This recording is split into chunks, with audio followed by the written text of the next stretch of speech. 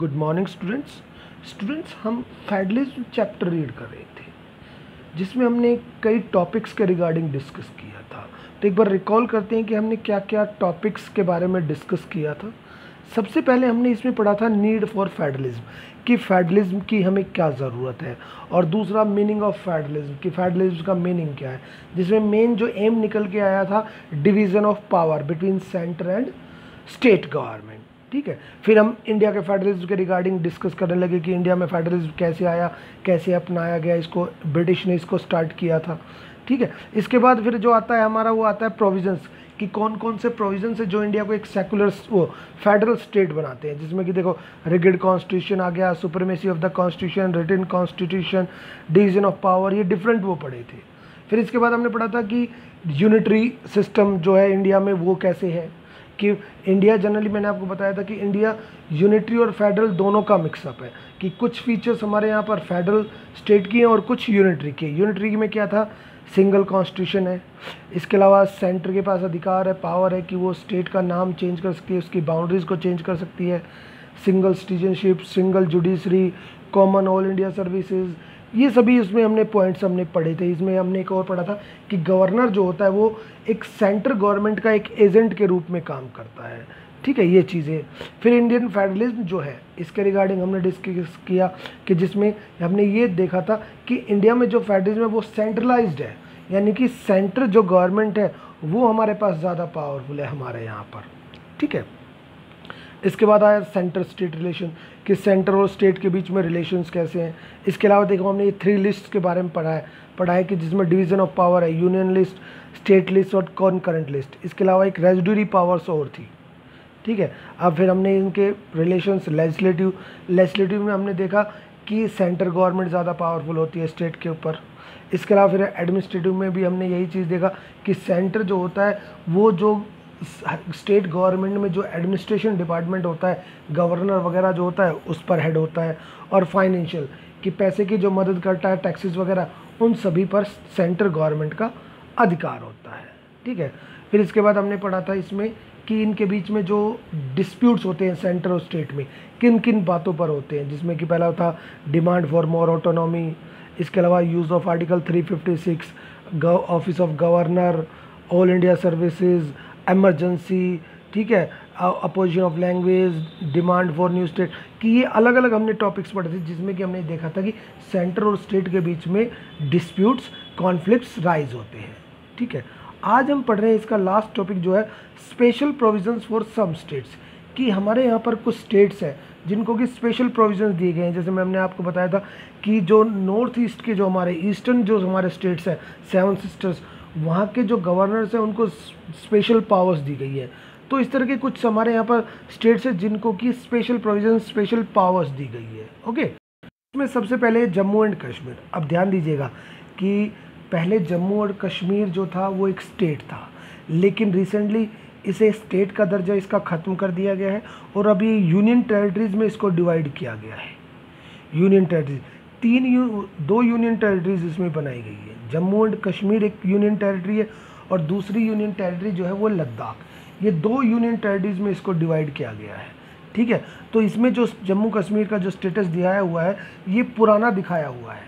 ठीक है? अभी बुक्स में ये पूरी तरह से नहीं हुआ है अपडेट नहीं हुआ है, लेकिन ये पुराने के अकॉर्डिंग यहाँ पर चल रहा है। तो देखिएगा कि Jammu and Kashmir is the only state of India to have a separate constitution कि जम्मू कश्मीर एक ऐसा स्टेट था इंडिया का, जिसको कि अलग से, जिसका एक अलग से कॉन्स्टिट्यूशन था और वहाँ पर ड्यूल सिटीजनशिप थी। The status has the state has been given considerable autonomy और स्टेट को वहाँ पर कुछ ज़्यादा अधिकार दिए गए थे, ज़्यादा पावर्स दी गई थी। So that people of Jammu and Kashmir can realise their aspiration ताकि जो जम्मू एंड कश्मीर के लोगों की एस्पिरेशन से इच्छाएँ हैं, वो उनको पूरा कर सके। अब जम्मू कश्मीर को जो स्पेशल स्टेट का दर्जा जो दिया गया वो आर्टिकल 370 के अकॉर्डिंग दिया गया था, देखिए। Article 370 grant special status to the state of Jammu and Kashmir at the time of independence की आज़ादी के समय जम्मू कश्मीर एक प्रिंसली स्टेट्स था, कि वहाँ पर राजा का अधिकार था, ठीक है? और उसे ये ऑप्शन दिया गया था कि वो चाहे तो इंडिया को ज्वाइन कर ले, चाहे पाकिस्तान को, या अपने आप में इंडिपेंडेंट भी रह सकता है, ठीक है? लेकिन जम्मू कश्मीर जो था वो भारत के साथ शामिल हुआ, और जम्मू कश्मीर को लेकर ही भारत और पाकिस्तान के बीच में कई युद्ध हो चुके हैं। ठीक है? तो आर्टिकल 370 जो है, इंडियन कॉन्स्टिट्यूशन से एक स्पेशल स्टेटस देता है। In case of Jammu and Kashmir, the central government has limited power. कि जम्मू कश्मीर के रिगार्डिंग सेंट्रल गवर्नमेंट के पास लिमिटेड पावर्स थी। ठीक है? वो उसके इंटरनल मैटर्स में इंटरफेयर नहीं कर सकता था। वो एक्सटर्नल जो मैटर्स थे, वो हमारी सेंट्रल गवर्नमेंट देखती थी। The central government can not use the union list and concurrent list powers. With without the consent of Jammu and Kashmir कि यूनियन लिस्ट और जो आपने कॉन्करेंट लिस्ट पढ़ी थी, जिसमें हमने देखा कि सेंट्रल गवर्नमेंट के पास ज़्यादा पावर तो वो उन सब्जेक्ट्स को वहाँ पर लागू नहीं कर सकती थी। वो लागू तभी होते थे जब वहाँ की जो विधानसभा होती थी, वो उसे अप्रूव करती थी। Jammu and Kashmir even has a separate constitution separate flag ठीक है? और को no emergency can be impose कि जम्मू कश्मीर में इंटरनल उसके लेकर डिस्टर्बेंस को लेकर वहाँ पर जम्मू कश्मीर में एमरजेंसी नहीं लगाई जा सकती।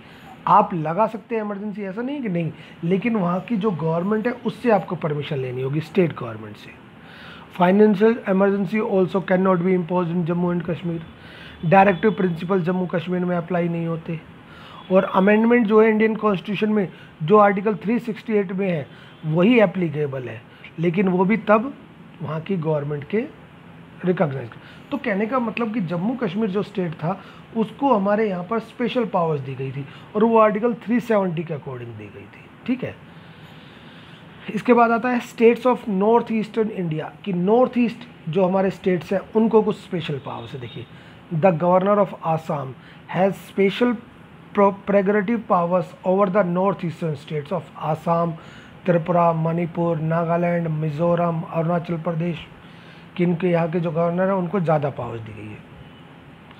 This has been done to protect the interest of tribal और उनको जो ज़्यादा अधिकार दिए गए हैं स्पेशल पावर्स वो वहाँ की जो ट्राइबल कम्युनिटी है, उसको प्रोटेक्ट करने के लिए, उनको डेवलप करने के लिए।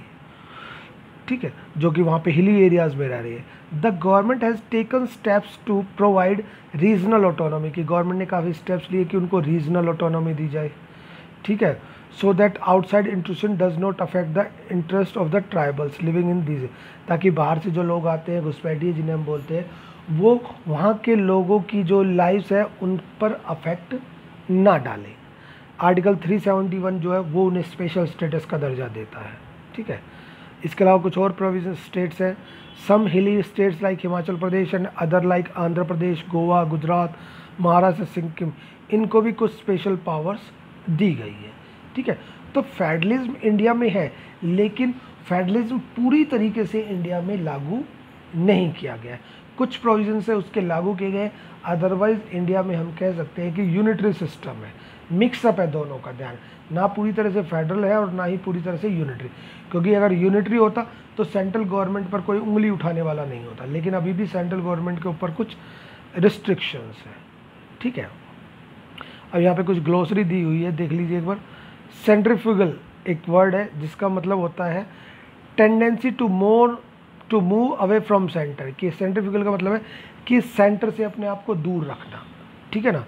और इसके अलावा है सेंट्रीपेटल सेंट्रीपेटल की सेंटर के क्लोज जाना सेंटर के नज़दीक जाना।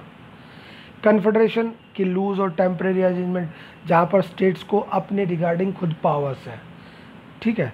और एक सेंट्रल सेंट्रलाइज फेडरेशन सेंट्रलाइज फेडर में कि जहाँ पर सेंटर जो होता है, वो स्ट्रॉन्ग होता है और स्टेट के पास कुछ पावर्स कम होती है। और डिसेंट्रलाइजेशन में डिसेंट्रलाइजेशन जो है पूरी तरह से फेडरल कि जहाँ पर सेंटर और स्टेट के बीच में पावर को अलग अलग तरीके से बांटा गया है मीन्स दोनों एक दूसरे के इंटरफेयर नहीं कर सकते। ठीक है? तो ये हमारा चैप्टर था बेटा फेडरलिज्म ठीक है? Okay students thank you